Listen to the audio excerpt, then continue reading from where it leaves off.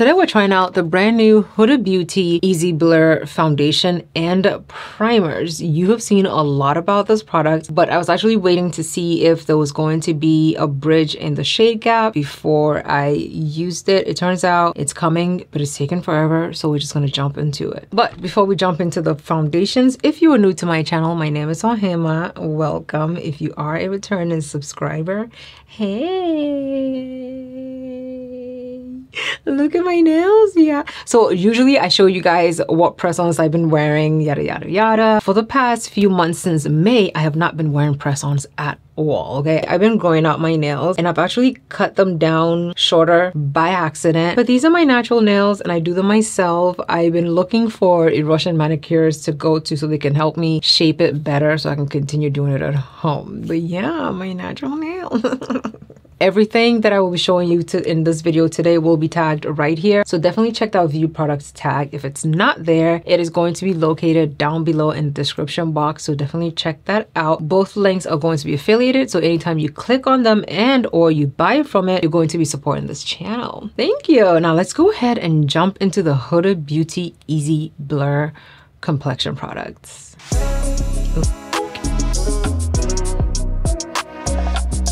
Now, a few months ago, Huda Beauty launched the Easy Blur complexion product. It says that it's weightless, real life filter. It smooths your skin, has an airbrush finish, it's medium buildable coverage, it has 1.5% niacinamide in it, has silica with no fragrance at all, and very soon will come in 30 shades. Initially, it launched with either 28 or 29 shades, and I think they realized that there was a gap between the deepest shade and the second deepest shade. So right now, there is a shade 590 that is coming soon. It's actually not listed on the Sephora website that there is a shade 590, but on the Huda Beauty website, you can see that shade 590 says that it's coming soon and shade 560 is saying that it's sold out. So I think that is also a shade that is coming soon. And the proof is actually right here. It tells you it's 29 shades, but if you go on the Huda Beauty website and you count it, they have 30 shades. We're going to be trying out the Huda Beauty Easy Blur Primer. This primer has had its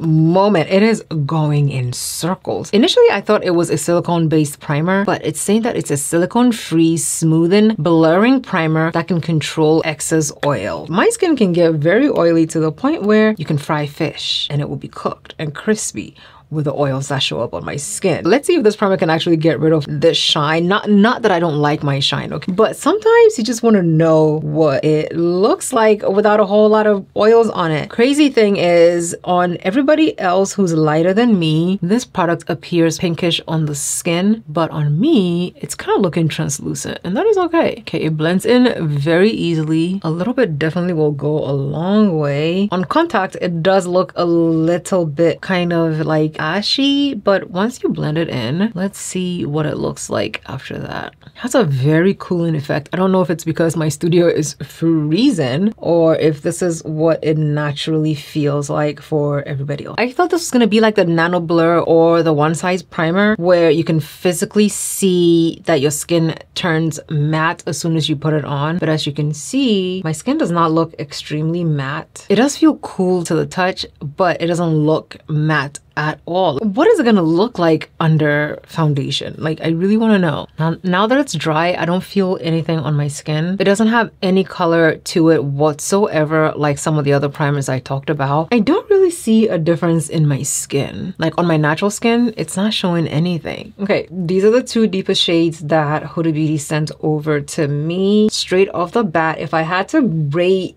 this shade range, I would say that it wasn't very inclusive. There's supposed to be two shades between this shade and this one. So then hopefully I can find myself in one of those two missing shades. Something happened. Something had to have happened like at the lab or at Huda Beauty headquarters because the shades do not correspond with the pamphlet that was sent over, the pictures on the Huda Beauty website, and the pictures on Sephora. Go in with a moisturizer and of course we still have the primer on this side of the skin.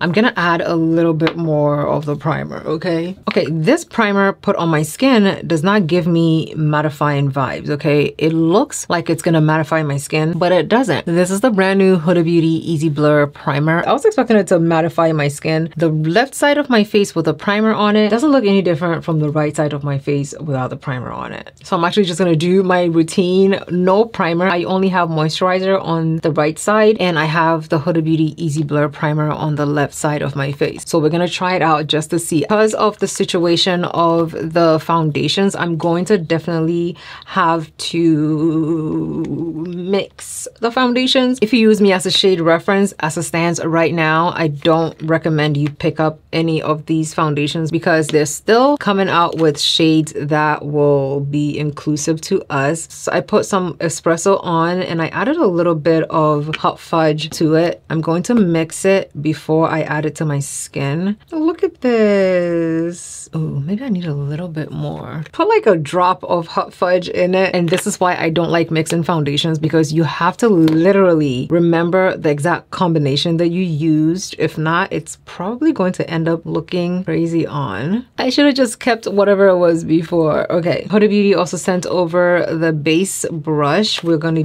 I will use this. Oh, I love how dense this is. Blend this in. It dries down very quickly though. So definitely keep that in mind as you use the product. Ooh, I did a good blend with this. The blend looks very nice. Okay, it definitely balances my skin very nicely. I feel like if they make that hot fudge shade, it will look really, really good. Let me know you think. The mix looks very, very nice. I don't, I don't mind it. I just have to replicate it and make sure that I can get the same look on the right side of my face. That way I don't look like I have two different shades on. We're gonna try to mix it again. Um, looks like I was able to actually recreate a very similar shade and take it through a foundation routine so we can see see what we get at the end of this routine. Did I make it too deep? I probably did, but it's fine. It doesn't look bad honey, all. Honey, it looks like we're actually going to be getting a full eight hour wear test out of this foundation primer combo. Of course, it doesn't say how many hours it can keep us looking fresh for, but you know, we're just gonna, we're just gonna keep it pushing. I'm actually very interested in seeing which side of my face is going to look more put together. Where this primer needs to come through because I only have moisturizer on the right side side of my face, right? Right side of my face, moisturizer, left side, the primer and the foundation. Is a product side going to perform better than the no primer side? Like, I want to know, okay? The time is now 1220. Let me know down below in the comments what your predictions are before I come back and we can see. I'll see you in a little bit.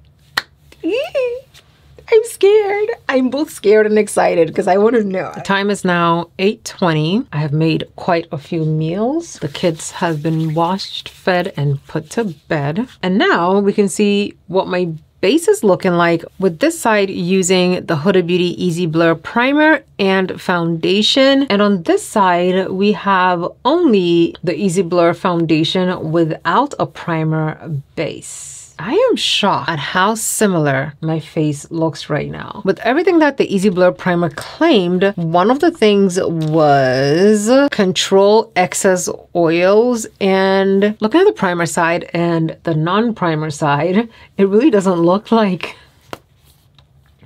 it really doesn't look like the primer controlled any oils whatsoever. And when it comes to the skin itself, they both both sides look the same like I feel like if I just if I feel like if you just go in with the foundation by itself, you will literally get the same results as you get using the primer and the foundation. As far as oil control, now when it comes to the blurring the blurringness of both products, it looks like I'm getting the same amount of blur on the no primer side that I'm getting on the primer side. It looks like you can literally wear the foundation by itself without the use of the primer. Primer, no primer. It does not look half as bad as I thought it would at all. I'm gonna go ahead and just blot my face with a brush. So it's not really gonna give me like a mattifying blotting type of situation. I'm just gonna absorb a little bit of the excess oils. As far as the primer,